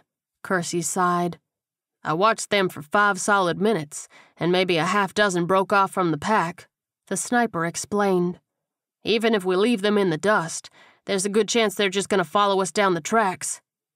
We have enough ammo to take them out, though, Mason piped up. Why don't we just set up a firing line and start taking them down? Bretz shook his head. Because we don't know what's ahead of us. We can't burn that much ammo. Maybe get a couple decoys? Kersey asked. Fan out into the woods and draw them in? Johnson crossed his arms. Sarge, that's all kinds of risky. Doesn't look like there are any sorts of paths in the woods out there. Gonna be way too easy to get tripped up. I still have a couple blocks of C4, Baker cut in. We can get ahead of them a bit. I can run out and plant some and get back to the train before they get close. Kersey cocked his head. How much do you have left? Three blocks, Baker replied, as Bill increased the accelerator behind him. The sergeant nodded. That's not a bad idea, but I just hate the idea of using it. He paused when he realized they were moving faster. Bill, why did you accelerate? We're not doing Baker's plan. Bill clucked his tongue. You want to clear out those zombies, right? That's what we're discussing, Kersey said. The engineer waved him off. Then hang tight and I'll take care of it. The train picked up speed, putting several hundred yards between the boxcar and the ambling horde. Bill rode the momentum all the way up a half mile incline before screeching to a halt at the top. He triggered the emergency brakes and pulled a crowbar from under the console, whistling as he headed to the door. Pardon me, boys, he said, and Mason and Baker glanced at Kersey. The sergeant nodded his approval, and the soldiers opened the door, getting out and sweeping the immediate area as Bill jumped down. The rest of the group followed, curiously watching as the engineer stretched his arms above his head, bouncing on the balls of his feet for a moment, before strolling down the train towards the boxcar. The soldiers followed, and at the second to last car, he hopped up onto the back and began to fiddle with the coupler. He paused and stuck his head out to survey the group. Hey, Sergeant, he said. You boys don't need anything in the boxcar, do you? Kersey glanced around at his men. Everything we need is in the front couple of cars, right? There were nods all around, and he turned back to Bill. Yeah, we're good. Fantastic, the engineer replied brightly, and then disappeared back between the cars.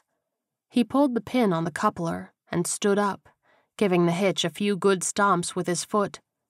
Gravity began to take hold, and the free roaming boxcar began to roll slowly away from the train, taken by the hill. It picked up speed and sliced right into the decomposing flesh of the oncoming horde like butter. Zombies parted like the Red Sea, leaving crimson tracks behind, thousands of mutilated zombies flying everywhere. The car whizzed out of sight on the horizon, and a mere hundred corpses remained, many missing limbs. Johnson turned to Bill and began a slow clap, his mouth agape in awe. The engineer still stood atop the coupler and gave a playful bow as the rest of the soldiers joined in the applause. Well, Johnson said as he clapped Kowalski on the back, looks like your daily record lasted all of an hour. The private's eyes widened. Son of a bitch! What do you think there, Sarge? Johnson teased. Call that an even thousand? Kersey chuckled. Unless you want to go count the body parts. Yeah, I think a thousand sounds good, the private replied. Kowalski began stomp hobbling back towards the engine car, muttering under his breath. You just wait until I get more ammo. Does this mean I'm officially part of the squad? Bill asked as he jumped down to the ground. Johnson grinned.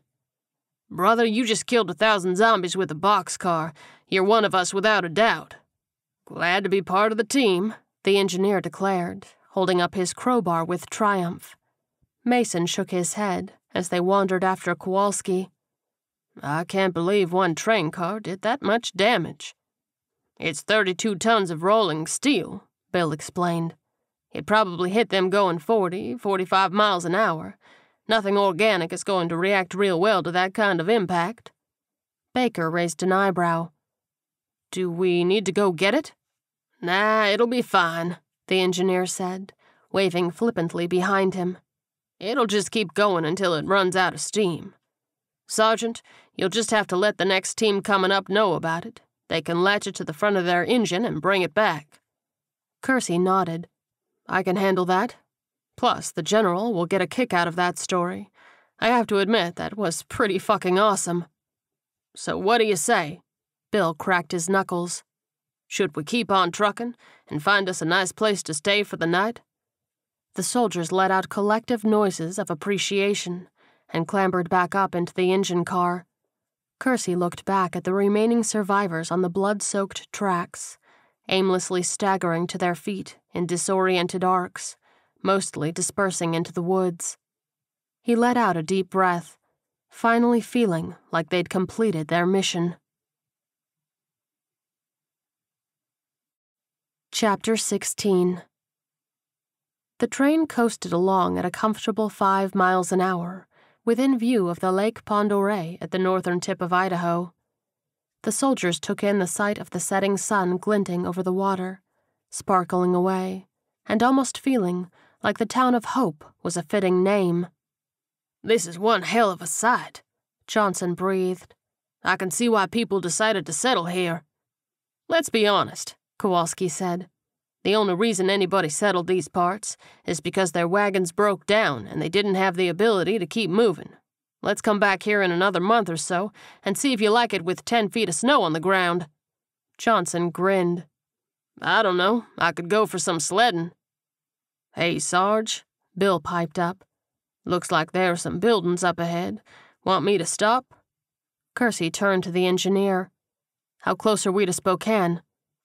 Best guess is about 90 miles, but it's not going to be too much longer before we start hitting real patches of civilization, Bill replied. The sergeant nodded. That's all I needed to hear, he replied, and raised his hands. See if you can't find us someplace nice. You got it. The engineer turned back to the console and began to slow down. Kowalski hung out the door and raised his rifle, scanning the area. Doesn't look like there's anything moving up there, he said. And unless my eyes are playing tricks on me, looks like there is a nice lakefront resort in our future. God knows we've earned it, Bretz added. The soldiers all checked their weapons, readying themselves for one more sweep once the train stopped. Bill screeched the vehicle to a halt, right in front of the three story resort. A billboard facing the tracks boasted, Hope Full Service Resort. I guess it would be too much to hope that the masseuses are still around, Baker joked. Yeah, you're gonna have to take care of that happy ending all by yourself, Kowalski quipped, and then raised his hand. On that note, I call not bunking with Baker. Bretz and Johnson hit the ground first, doing a quick sweep of the immediate area as the rest of the soldiers leapt down, save Kowalski, who carefully climbed. Bill walked to the door and sat down, letting his legs dangle over the edge. Yeah, yeah, I know the drill, he declared. Just make sure y'all don't forget me once you clear the place. Kowalski snorted. Don't worry, Mr. Record Holder. We won't forget you.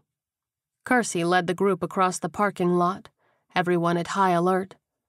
There was no movement anywhere, not even a single car parked there. They reached the front doors, and he motioned for Johnson to deal with the lock.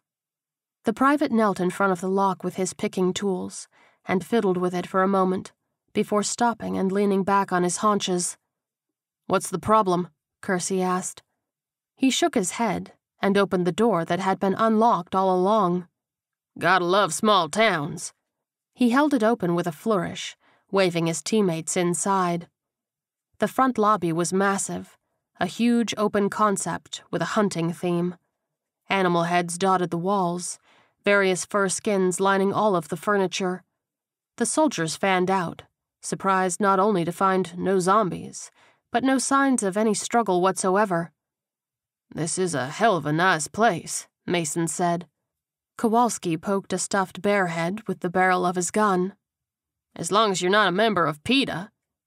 Johnson moved into a room off to the side, and then emerged almost immediately, a huge grin on his face. It's clear in here, and there's a restaurant with a full bar. Hallelujah! Baker exclaimed. Kersey flopped down on a cowskin couch in the lobby and put his feet up. Bretz, can you go get Bill? I think we're in good shape here. The corporal nodded and headed back outside to collect the engineer. Johnson, Baker, Mason, I want you to do a sweep of the rooms. Make sure every inch of this place is zombie free, Kersey said, and the three soldiers nodded, heading up the stairs quickly. The sergeant rubbed his hand down the black and white upholstery. Little odd for my tastes, but if it works for you, have at it, he muttered, shaking his head. He raised his walkie talkie to his mouth. Heartland Base, please respond. This is Sergeant Kersey. There was a pause. This is Heartland Base. We read you loud and clear, Sergeant Kersey. I have a priority alpha message for General Stevens, he said, and then waited while the operator informed him they would get him the general. He wrinkled his nose, more than a little creeped out by all the decapitated animal heads staring at him. He avoided the gaze of a snarling wolf. Sergeant, please tell me you have good news. Stevens came through the radio. Yes, sir. We have cleared the path through Missoula and are currently in Hope, Idaho, Kersey explained. 90 miles from Spokane. How much further are you going to be able to push on? Stevens asked. Kersey took a deep breath. Realistically, General, this is as far as we can go without significant backup, he admitted. We're going to be hitting civilization soon, and we can't risk compromising our current position. It's a good staging area for the Spokane assault. He paused. How soon can we expect our reinforcements? I don't have a specific timeline for you, the general admitted. But three, maybe four days for the train convoy to reach you. The sergeant let out a deep sigh of relief. There's no rush on our part, he assured him. We're all beyond exhausted and could use an opportunity to rest up. Oh, and when the convoy gets going, they need to contact us. There are a few things they'll need to be aware of on their trip up. I have to say, Sergeant, Stevens began, you have exceeded any and all expectations I had for this mission. The speed at which you completed it, and all without a single casualty among your men. You should be very proud. Kersey smiled. I am, and I appreciate the compliment. Kersey, I need you to be frank with me. The sergeant leaned forward, brow furrowing. Yes, sir? Do you feel like you are up to the task of leading the assault on Spokane? Stevens asked. Kersey blinked at the mouthpiece for a moment before responding. You want me to be in command of a thousand men? Not just be in command, the general amended, but draw up and lead the operation. The sergeant flopped back against the couch, mouth agape. I, with all due respect, that sounds like a huge step up. I'll be blunt, Stevens said immediately. This virus hit our command structure hard. We've lost well over half of our leadership, and some of those who are still in charge aren't equipped to deal with this new type of battle we're waging. You have proven yourself more than capable in combating the enemy, and if you feel as though you're up to the task, I will give you the opportunity. Kersey drew in a deep breath. Yes, sir. I can handle it and won't let you down. At this time, I'm giving you a field promotion to captain, Stevens declared. In a few days' time, you will have the command of a thousand troops for the assault on Spokane. Thank you, thank you, General, Kersey stammered, still stunned. Don't let me down, Captain, Stevens replied. The new captain sat up ramrod straight and nodded. I won't, sir. He stared at the walkie talkie in his hands, long after it went silent, stock still on the hideous couch, until the trio thundered back down from upstairs. Hey, Sarge, we're all clear here, Johnson bellowed. Everyone's gonna get their own room, too. They approached the stunned soldier, who didn't move or acknowledge their presence. Sarge? Mason asked, as Bretz returned with Bill in tow. You okay? Huh? Kersey snapped out of his reverie and shook his head, setting down the radio. Yeah, sorry. The general just threw me for a loop. Bretz approached, brow furrowed. What's going on, Sarge? Well, for starters, it's now Captain, Kersey said, and his men erupted into applause. He scratched the back of his head as they hooted, and then put his hands up to calm them down. It also means that I'm in charge of the assault on Spokane. The corporal saluted him. Sir, I think I speak for everyone here when I say we're behind you. We couldn't be happier about following you into battle. Another round of whoops and hoots. So, Captain, Kowalski said with a grin, what's your first order as a newly promoted man? Kersey finally relaxed, leaning back and curling his hands behind his head. I think we've been through enough today, and we have more than enough on our plate for tomorrow, he said. For tonight, my orders are to secure the building, find something in that kitchen to whip up, and unlike the last bar we were at, tonight it's a two drink minimum. The squad blew up into even louder cheers, hauling their new captain from the couch to hustle him into the restaurant proper. It would be a celebration for them all, a minor reprieve from the hell they'd be facing soon enough. For that night, however, they had each other, and they had safety and relaxation, and they were going to make the most of it by carrying out their new captain's orders. End of Book 5 The Battle of Spokane is on the horizon, but first the action shifts to Nevada as a caravan makes its way to a group of survivors.